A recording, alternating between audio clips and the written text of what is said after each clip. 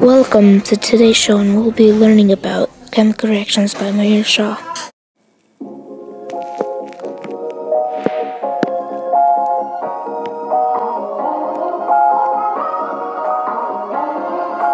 Increasing the temperature increases the reaction rate, so the cake baking at 400 degrees Fahrenheit will bake quicker than the cake baking at 300 degrees Fahrenheit.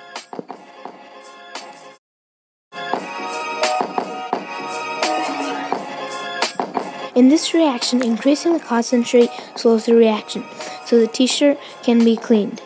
To increase the concentrate, we have to dilute the t-shirt in water. The t-shirt without the water makes the reaction happen too fast, leaving white spots.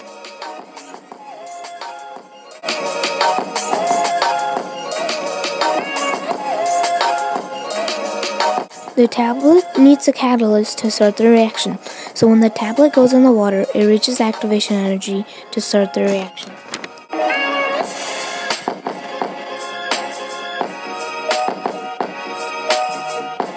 Increasing the surface area makes the bread toast quicker, so the bread in pieces is showing more bread so it will toast quickly. For today's shows, thank you guys for watching.